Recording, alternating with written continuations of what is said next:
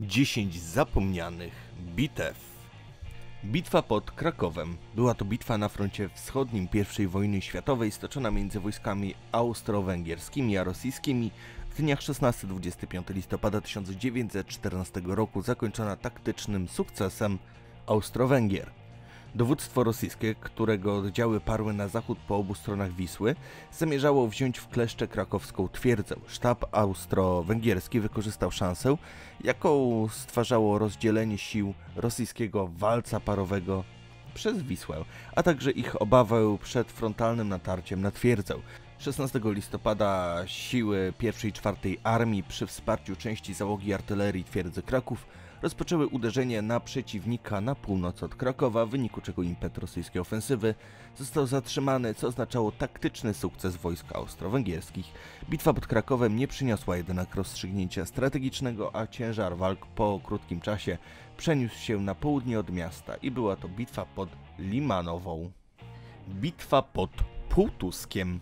Bitwa stoczona 26 grudnia 1806 roku pod Półtuskiem przez wojska francuskie z wojskami rosyjskimi w czasie wojny z czwartą koalicją.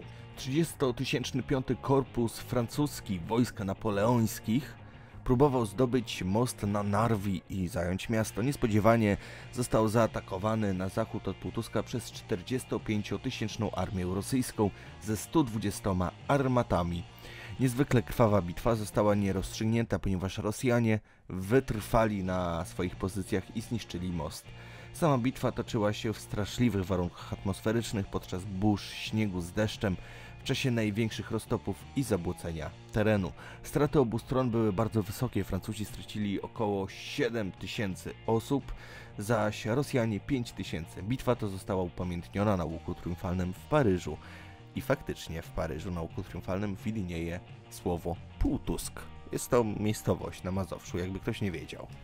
Swoją drogą, jak lubicie temat bitew, wielkich bitew, to polecam wam grę Tivar. Jest to darmowa gra online. Śmiało wbijajcie, link umieszczam w opisie. Bitwa w lesie teutoburskim. Bitwa stoczona jesienią 9 roku naszej ery pomiędzy plemionami germańskimi pod wodzą Arminiusza, wodza ze szczepu Cherusków, a wciągniętymi w zasadzkę legionami rzymskimi dowodzonymi przez Publiusza Varusa. Bitwa ta zapoczątkowała siedmioletnią wojnę, która ostatecznie ustanowiła granicę na arenie jako granicę Cesarstwa Rzymskiego na okres czterech stuleci, aż do upadku cesarstwa. Toczona legendą historia bitwy miała istotny wpływ na kształtowanie XIX-wiecznego nacjonalizmu niemieckiego. Bitwa pod Itororo starcie zbrojne, które miało miejsce podczas wojny koalicji z Paragwajem. Rankiem 6 grudnia 1868 roku marszałek brazylijskiej armii wyznaczył 13 tysięcy żołnierzy do zdobycia paragwajskiego miasta Villeta. Miało to przygotować przyszły atak na siły paragwajskie. Otóż już szybko wyjaśniam, w Paragwaju rządził Francisco Lopez.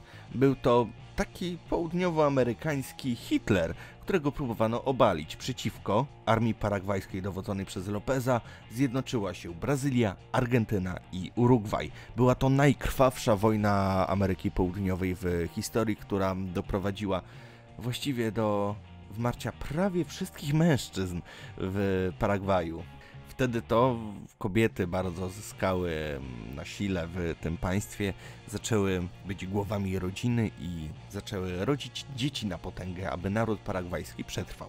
I przetrwał. Wracając do samej bitwy, wykorzystując korzystną sytuację, jaką stworzył powolny marsz Brazylijczyków, pułkownik paragwajski zatrzymał marsz sił księcia w wąskim przesmyku nad potokiem Itororo. Caballero rozmieścił swoich ludzi w ten sposób, że jedyną możliwością pokonania przesmyku przez Brazylijczyków było przejście przez most, który został silnie obsadzony przez paragwajskich żołnierzy. Wiązało to się z dużymi stratami wśród Brazylijczyków, tym bardziej, że na końcach mostu zostały umieszczone cztery działa, Kolejne cztery działa ostrzeliwały pozycje brazylijskie z okolicznych wzgórz. Bitwa charakteryzowała się atakami oraz kontratakami w celu zdobycia lub odbicia mostu. Około godziny 13 siły brazylijskie zdobyły ostatecznie most oraz zmusiły siły Caballero do odwrotu. W bitwie wzięło udział blisko 20 tysięcy żołnierzy, zaś zostało zabitych ponad 4 tysiące. szarża pod Wólką Węglową. Otóż jest taki mit mówiący, że coś jest mitem. Chodzi o polskie szarże na niemieckie czołgi w trakcie II wojny światowej. I najpierw był taki mit, że Polacy przeprowadzali szarże na koniach na niemieckie czołgi. E, I był to taki mit rosyjski. Komuniści wmawiali, że Polska była tak prymitywna, że nie miała czołgów i prowadziła natarcia na koniach. No nie była to prawda, do szarży dochodziło, ale nie były to szarże planowane. Mieliśmy ułanów, którzy działali w terenie i bywały sytuacje, że ci natknęli się na czołgi i atakowali te czołgi z nienacka, ponieważ szybciej było jeździć na koniach niż na przykład na piechotę. Z kolei teraz uznaje się ten mit właśnie rosyjski za mit, ale tak po całości i współcześnie wielu ludzi myśli, że w ogóle te szarże nie miały miejsca. No, miały, ale nie miały miejsca w takim kontekście, w jakim mówiono o tym za czasów PRL-u. No i właśnie szarża pod Wólką Węglową jest jedną z takich szarż kawaleryjskich podczas kampanii wrześniowej. Była to ostatnia szarża w dziejach jazdy polskiej wykonana z udziałem całego pułku kawalerii dowódca 14 Pułku Ułanów z Podolskiej, pułkownik Edward Godlewski podjął decyzję o skróceniu drogi do Warszawy i postanowił skręcić na południe do Mościsk. Razem z nim tę trasę obrała także mała część 9 Pułku Ułanów Małopolskich. Niespodziewanie pułki natknęły się w Dąbrowie Leśnej koło Wólki Węglowej na Niemców, lecz Godlewski nie zmienił decyzji, tylko dał znak do szarży. Ułanów do brawurowego ataku poprowadził dowódca trzeciego szwadronu porucznik Marian Walicki. Dzięki zaskoczeniu Niemców podczas odpoczynku i odwadze polskich żołnierzy pozycje wroga zostały przełamane. Niestety nie rozpoznano, że w mościskach na skraju wsi ustawiony jest garnizon niemieckich karabinów maszynowych i czołgów, które zasypały szarżujących seriami pocisków. Mimo ciężkich strat, bo zginęło ponad 100 ułanów, Natarcie powiodło się i pułk przebił się do Warszawy. Po bitwie orderem Virtuti Militari za ten czyn został odznaczony kapral Bronisław Czech, który podczas szarży podjął drzewce sztandaru 14 pół od rannego Ułana i tym samym uratował je. Świadkiem polskiego ataku był włoski korespondent wojenny, który opisał ten atak, więc polecam poczytać. Właśnie on opisuje, jak niemieckie czołgi strzelały do polskich łanów, a polscy mimo to przebrnęli przez ścianę ognia, jak on to napisał. Bitwa nad rzeką Tolens. Bitwa stoczona w epoce brązu orientacyjnie pomiędzy 1300 a 1250 rokiem przed naszą erą w dolinie rzeki Tolens na terenie dzisiejszych Niemiec. Żadne przekazy historyczne o niej nie są znane, zatem cała wiedza na jej temat pochodzi wyłącznie z badań archeologicznych na pobojowisku. Na podstawie przebadanego do 2017 roku fragmentu terenu badacze oceniają, że mogło w niej wziąć udział nawet 4000 wojowników, z których nawet do 750 padło, a na tamte czasy to były olbrzymie liczby. Są liczne poszlaki wskazujące na nielokalną genezę konfliktu i takież pochodzenie walczących. Odkrycie w północnej Europie pobojowiska tak wielkiej bitwy z tak odległych czasów jest bardzo znaczące pismo na tych terenach nie było wówczas jeszcze znane, więc przekazy historyczne o niej nie istnieją.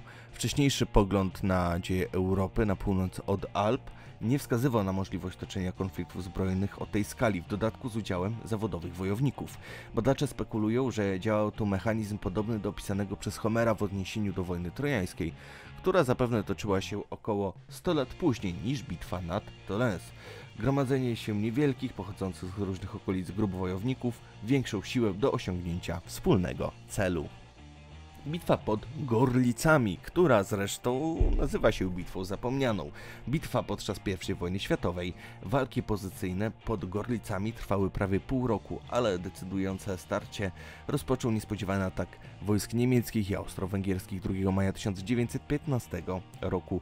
W dniach 2-5 maja 1915 roku pod Gorlicami został przerwany front rosyjski. W najnowszych opracowaniach Bitwa ta jest określana także jako Małe Verdun. Bitwa pod Verdun odbyła się później od bitwy pod Gorlicami i zakończyła się właściwie klęską państw centralnych, zaś bitwa pod Gorlicami zwycięstwem armii niemieckiej.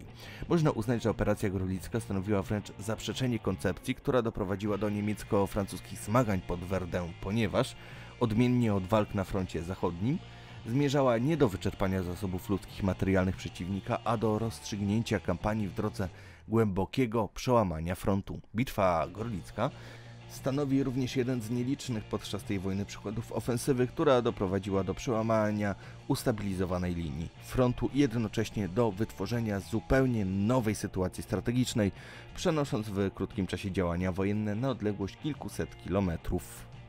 Bitwa pod Cecorą. Bitwa stoczona we wrześniu 1620 roku między armią turecko-tatarską a polskimi wojskami koronnymi pod Cecorą. Po nierozstrzygniętej obronie polskiego obozu wojska Rzeczypospolitej zostały rozbite w odwecie. Bitwa ta stanowiła początek wojny polsko-tureckiej, której zakończeniem była obrona Chocimia, a następnie podpisanie traktatu potwierdzającego ustalenia traktatu w Buszy z 1617 roku. Uczestnik tej bitwy, Stefan Chmielecki, napisał 26 września w jednym z listów, że bitwa była przegrana i zarzucał husarzom z prawego skrzydła, że uciekli z pola bitwy, nie skruszywszy nawet kopii ale następnie sam potwierdza, że wrogów zginęło więcej niż Polaków.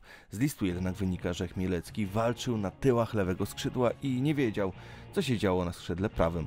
Zresztą bitwa trwała 6 godzin i trudno przypuszczać, aby prawe skrzydło, które wzięło na siebie główny impet wroga, nie walczyło. Ponadto jasne jest, że broniąc się przed atakiem, trudno było husarii używać broni zaczepnej, jaką jest kopia i jaka była główną bronią dla husarzy. Nie zmienia to faktu, że husaria została w trakcie tej bitwy rozbita. Wiecie, husaria to była taka ciężka jazda, oni nie byli przystosowani do każdego rodzaju bitwy, oni świetnie sprawdzali się w szarżach, a w trakcie tej bitwy dystans był dużo mniejszy, przez co nie mogli używać swojej głównej broni, czyli kopii, no i przez to zmienili się po prostu w zwykłych jeźdźców. Bitwa o zamek w Malborku. W latach 30. XX wieku zamek był często wykorzystywany przez Niemców jako tło uroczystości nazistowskich. Było to bardzo ważne miejsce dla nazistowskich Niemiec. W zimie 1945 roku podczas walk o miasto z Armią Czerwoną zamek został zamieniony w punkt oporu, co doprowadziło do olbrzymich zniszczeń. Zamek Malborku stał się niemiecką fortecą, zaś Armia Czerwona przeprowadziła prawdziwe oblężenie trakcie walk zniszczono nawet 60% zamku. Po II wojnie światowej zamek trafił w ręce armii polskiej, a następnie przystąpiono do odbudowy. Bitwa pod Refidim. Bitwa pomiędzy Izraelitami a Amalekitami, do której doszło w oazie Refidim podczas wędrówki narodu wybranego z Egiptu do ziemi obiecanej. Otóż Izrael, mimo że był ludem wędrownym i przemieszczał się z Egiptu po Bliskim Wschodzie, to był dość dobrze funkcjonującym państwem. Posiadali oni nawet swoją armię, którą dowodził Jozue. W końcu, przy oazie Refidim, doszło do starcia z tamtejszym plemieniem, Amalekitami. Wojskami dowodził oczywiście Jozue, z kolei przywódcy Izraelitów Aaron, Hura i Mojżesz obserwowali bitwę z góry, swoją obecnością wspierając izraelskich żołnierzy. Izraelici mieli przewagę militarną, póki Mojżesz trzymał ręce w górze. Się zmęczył, jego towarzysze posadzili go na kamieniu i podparli mu ręce. Bitwa trwała do wieczora, aż zakończyła się zwycięstwem Izraelitów. I tutaj, w tej bitwie, doszło do bardzo ważnego wydarzenia, a mianowicie pojawił się geniusz militarny Mojżesza oraz znajomość kosmosu przez Izraelitów. Wiedzieli oni, że akurat jest noc świętojańska, czyli najkrótsza noc w roku. Dzień będzie dłuższy. Specjalnie rozstawili się w taki sposób, aby przeciwnicy mieli pod światło i dzięki temu wygrali. Do dziś badacze spierają się w jaki sposób doszło do tej bitwy. Jest bardzo możliwe, że Izraelici cierpieli wielki głód, z tego względu postanowili zaatakować mm, ludy mieszkające przy oazach. Jest również druga wersja mówiąca, że to właśnie Amalekici zaatakowali Izraelitów. Są również rozważania, w jaki sposób Mojżesz miał wpływ na tę bitwę i o co chodzi z podniesionymi rękami do góry. Bardzo możliwe, że jest to po prostu zapis symboliczny, mówiący o jakimś pojednaniu z Bogiem, ewentualnie modlitwie. Inni twierdzą, że były to jakieś znaki strategiczne wydawane wojskom. Jakby nie patrzeć, Izraelici wygrali tę bitwę i zagwarantowali sobie miejsce na Bliskim Wschodzie po dziś dzień. Dzięki za obejrzenie do końca, mam nadzieję, że ten odcinek Wam się podobał. Dajcie znać w komentarzu, o czym chcecie kolejną deszkę i zapraszam Was na moje dwa pozostałe kanały. To ciekawe oraz światowa historia. Trzymajcie się, cześć.